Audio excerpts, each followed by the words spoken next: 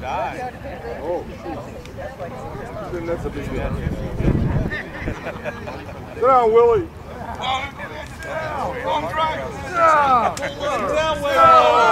He ruined the whole thing. He ruined the whole thing. Willie.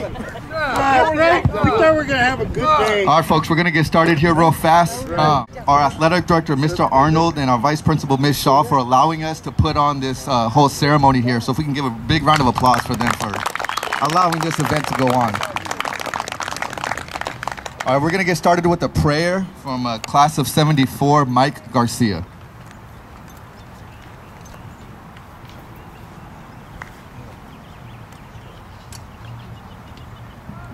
Good afternoon. Good afternoon, Mike. Thank you. In the book of John, it's, it speaks of the feast of the dedication, and that uh, they were actually dedicating the temple back to the Lord. And I look at this as uh, rededicating the, the, the spirit of excellence that Mr. Larson expected and demanded of his students and players uh, to all generations, past, present, and future, and not bound to the four years that attend to Cantwell Sacred Heart of Mary, but as Jesus took to the cross and followed his last breath with the words, It is finished. And then let all generations of Cantwell Sacred Heart of Mary pursue the, the excellence of the cross of our Lord Jesus Christ to our last breath till we say it's uh, finished, Verla to Augie, and that the dedication that Mr. Larson put forth here in time and effort, his sons, his family, uh, that all the generations that walk these fields and walk these classrooms put forth that excellent uh, spirit also. In Jesus' name, amen.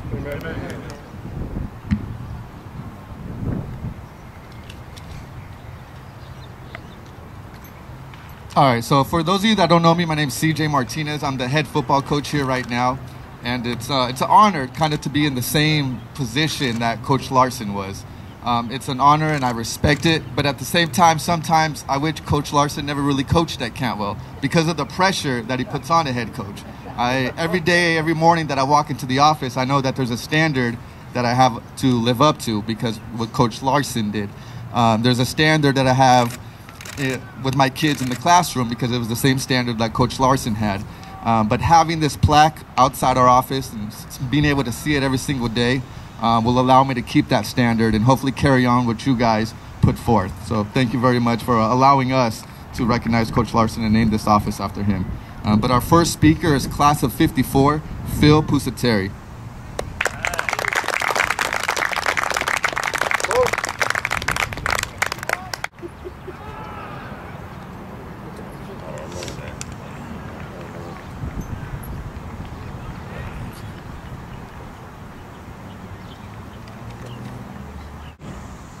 Uh, thank you once again for having me come back to Cantwell, my old school.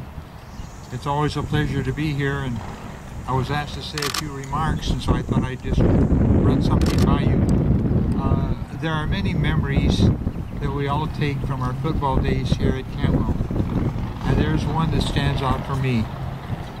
We're playing Cathedral here at Cantwell, and as you all know, there's no love between Cantwell and Cathedral, and to this day there is one coach who still hates them.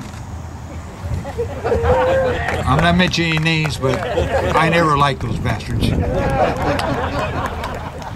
We had just won, and it was a great victory for our Cardinals because Cathedral had a championship team. Coach Larson told all the coaches to meet him at the Venice Room, and we were going to. He was going to treat us to celebrate our 56 to 13 victory. I told my wife, who was in the stands, what Coach Larson said, and that I had to go to the Venice room to celebrate our victory. I said she should drive home, and Coach Hernandez would bring me home, and she didn't have to wait up for me. She said, So you helped defeat Cathedral. How many passes did you catch? I said, None. How many passes did you throw? I said, None. How many times did you carry the ball? I said, None. How many blocks did you make? I said, None. And she said, then how many passes did you intercept? And I said, none. And I, she said, then you've done nothing to defeat Cathedral, and Coach Larson should fire you. I went home with her, and she never came to another game. Uh, just about Coach Martinez. Coach, thank you for embracing the alumni and having us come back. And I think you'll find that with uh, the people around you that are from Cantwell, I will support you 100%. And thank you very much for having me come again.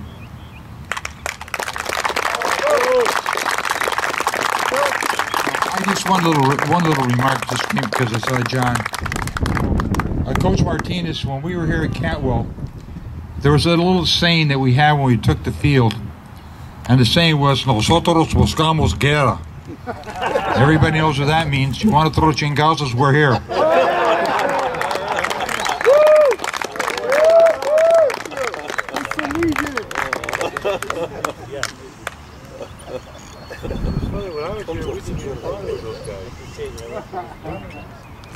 All right, so I apologize to our AD and vice principal, but you know what we have to say before games now, so you heard it here first. But our next speaker is uh, Coach Rosmino.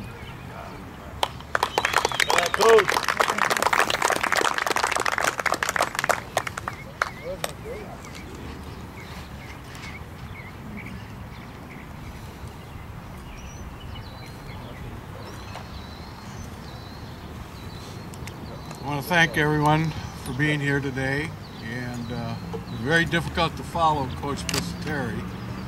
Uh, had him on my staff a few years ago, and uh, he never let me regret it.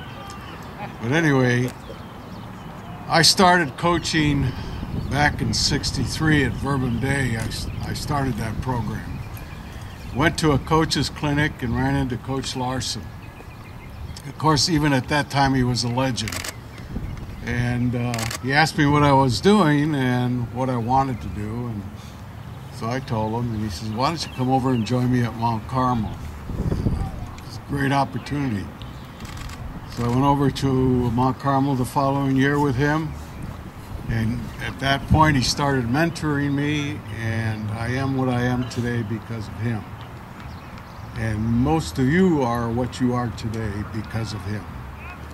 Uh, then followed him here to our alma mater, Cantwell, and spent three great years here and would have probably stayed here forever if my family dynamics had not changed and caused me to move on to a public school situation, which I thought I would never do. But anyway, those years were fantastic years here, walking the halls again as a coach rather than a student, and continuing to learn from Dick on the finer points of coaching and dealing with young men such as yourself. And I want to thank everyone who put this on, Coach, and the athletic director, principal, and everyone here today. Thank you for the opportunity to share in this dedication.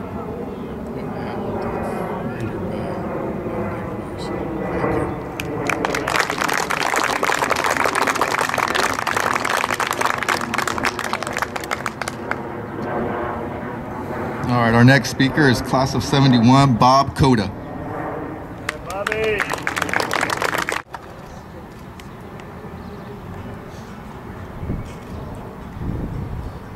Well, I want to thank you all for coming in, and, Coach, and all the accolades, and everybody that put this together.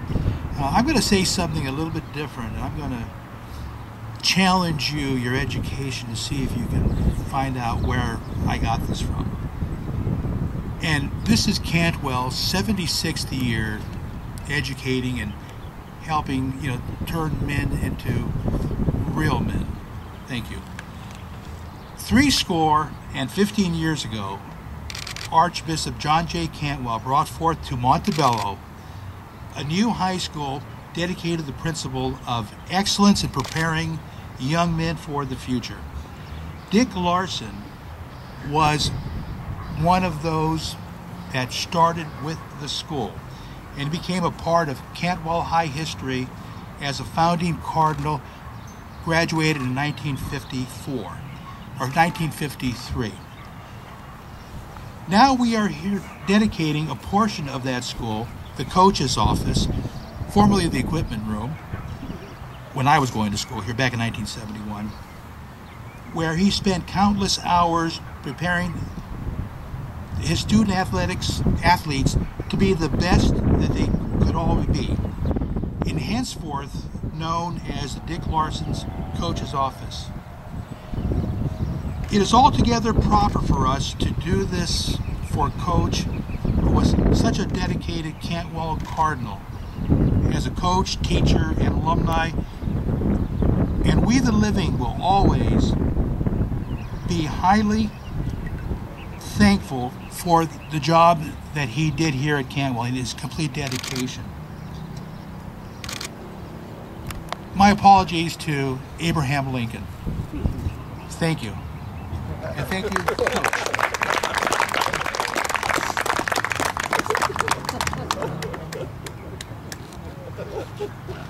All right, so we got two speakers coming up next. Class of 70, Pat McDermott, and class of 72, Danny McDermott.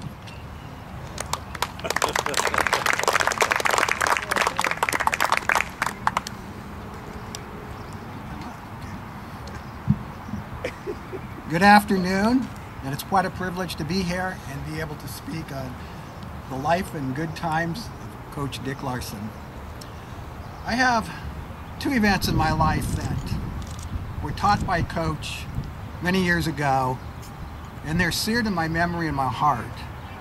One of them is a little humorous, and the other one's a little more serious. The first one is Coach had asked me and my teammate, Gary Schmidt, best friend as well, to go down to the ice house and get some ice. We needed it for the field house. He gave us some money. We got in our car, went down there, looked around, couldn't find any operator. So we walked it to the door of the ice house, which was a big freezer, and it wasn't locked. So we figured, oh, okay, we'll just go help ourselves. Go in there, get a bunch of ice, put it in the car, come back. Coach was out here in the field, says, we got the ice, and here's your money back. He says, what do you mean my money back? We said, well, nobody was there. Door was unlocked. We took the ice and brought on back. He says, you guys get your butt in the car. You go back there. You find that owner and you give him the money and you tell him what you did. So we did. And it was something that uh, we learned never to do again. The other event was Coach Larson was quite the inspirational, motivational speaker. And he used to like to give the seniors kind of a farewell on the last game of the year. So he had us all down together, just the seniors. And he started off by letting us know that many of us probably won't be playing this anymore. This will be our last game. But more importantly, he says, I hope you all learned a lot about life, about this sport. He says, there's going to be a day when you're going to have a family and you're going to have to get up at 5 o'clock in the morning or maybe earlier, and you're not going to want to do it. It's like here on the football field when you're in the fourth quarter and you're maybe down but winnable. And you have to pick yourself up and find that extra in you to make it happen and win the game. Well, that thought always stayed with me. And there have been many mornings when I didn't want to get up. And I always remembered what Coach said, and that was what me got me out of my bed and to work or whatever other duty I had to do at that time. So thank you, Larson. You're such a great inspiration, and you did a lot for my life, and I know you did a lot for other people too. Thank you, Coach Martinez, for sponsoring this and uh, athletic director, and thank you.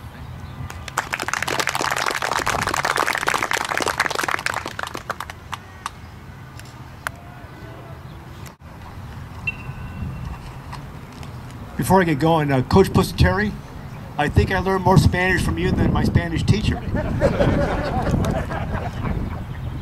Seriously. Okay. So anyway, um, welcome fellow Cardinals, Cardinals fam, Cardinal families, and Cardinal supporters.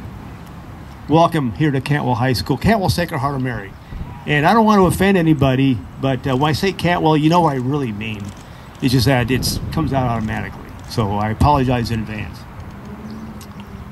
Today we're here to mem- uh, memorialize a great man, mentor, leader, and loyal Cardinal supporter. Coach Dick Larson's legacy at Cantwell started as a student athlete. Coach Larson came, came back later to Cantwell as a full-time teacher and coach. After all that, Coach Larson continued his loyalty to uh, Cardinal football by attending games, participating in our, in our annual Hall of Fame dinner, all up until he could not no longer do it. Coach Larson demonstrated a clear love and loyalty to his home at Cantwell. I think the Marine Corps calls that Semper Fi, always loyal. Now we have an opportunity, or some feel is more of a duty, to remember Coach Larson by continuing his legacy, by coming and giving our support to Cardinal football. Building a lasting le- legacy to Carlos tradition is a very important task. If we don't do it, it won't survive. We are not a Mater Dei, nor are we a Bosco, Servite, Santa Margarita. We are the underdogs, and we always knew that. Under Coach Larson, we built a legacy upon this a touch a, a bunch of tough kids, undersized, from the San Gabriel Valley and East LA area that won't give up. It's always about us as Cardinals. And this day, that's why we always refer to each other as brother. In today's environment, it seems that the trend is, is all about me. That attitude cannot survive an organization. This must be redirected to it's all about us. If so, we can accomplish great things if no one cares who gets the credit.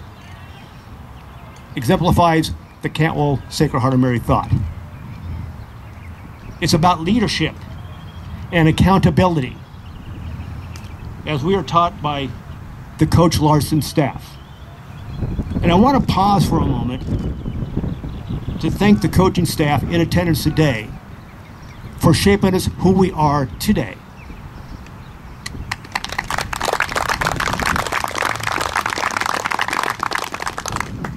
At present, Cantwell football is on the rise. And coach, correct me if I'm wrong, I think we have now 13 scholarships. That's unprecedented That's what education is all about. We're at a college preparatory school. And the athletes should also have the opportunity through the athletic program here at Cantwell, Cantwell Sacred Heart of Mary High School. Fellow Cardinals, please come home and give back to Cantwell Sacred Heart of Mary what was, has been given to you. God bless you all and go Cardinals.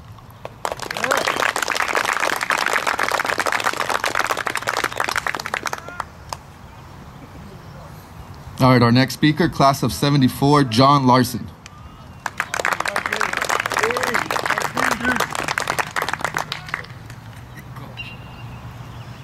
First, I'd like to thank everyone for showing up, especially the school for sponsoring, putting it on, the coach, your staff, been wonderful.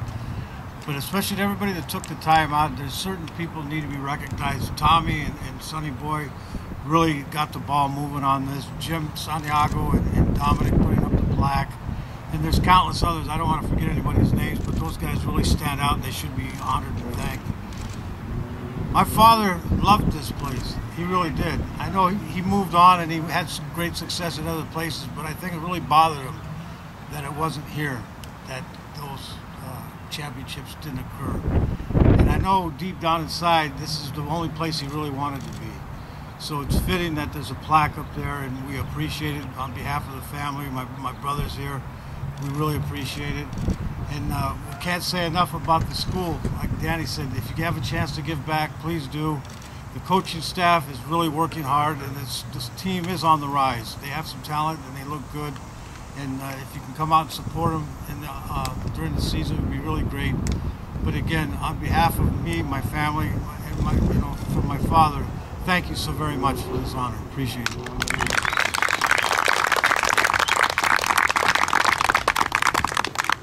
Thank you for those stories. Those are great stories. And like I said, I hope one day I have former players up here talking the same way you guys speak about Coach Larson, about myself. And uh, I can't wait for this season. Um, like a lot of these guys said, I think our football program is on the rise.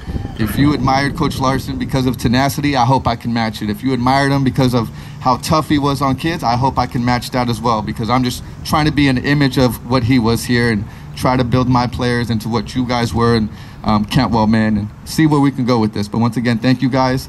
And uh, round of applause for all you guys for coming out and supporting. And that's all we got. If you guys want to go ahead and check inside the coach's office, check inside the weight room, take a peek, do what you guys want. Um, some food on the way, and just enjoy yourselves. But once again, thank you guys.